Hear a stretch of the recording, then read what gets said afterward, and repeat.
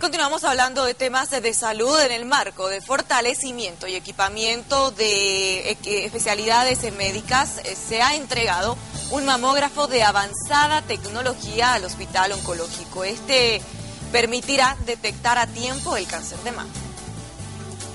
Hemos invertido ya más de 160 millones de bolivianos en equipo, ahora estamos entregando un mamógrafo que cuesta un millón de dólares, que son 7 millones, es un mamógrafo de alta tecnología, que tiene inclusive características de tomógrafo, que va a poder detectar el cáncer más mínimo y poder además a través de un, de un procedimiento saber exactamente dónde instalar la biopsia.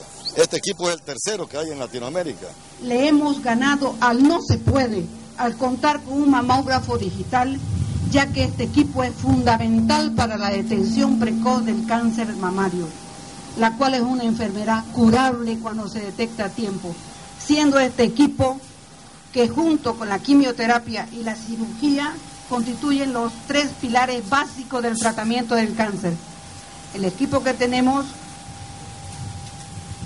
va, a servir para disminuir la lista de espera que tanto sufrimiento tiene el paciente. El sector salud